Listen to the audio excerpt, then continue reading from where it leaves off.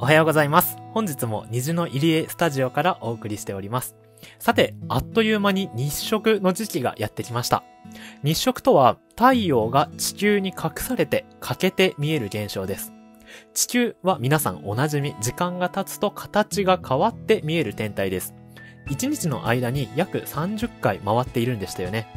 そして後ろに輝く太陽、明るいので大きいイメージがありますが、実はその見た目の大きさは地球の約4分の1しかないんです。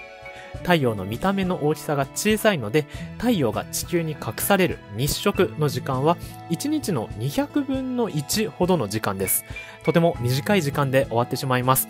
虹の入り FT にお住まいの皆さん、毎回朝早くで少し大変ですが、ぜひ日食ご覧ください。ちなみに毎度のお願いですが、太陽を直接目で見てはいけません。日食グラスや専用の機材を使って見るようにしてください。それでは今日も良い一日を。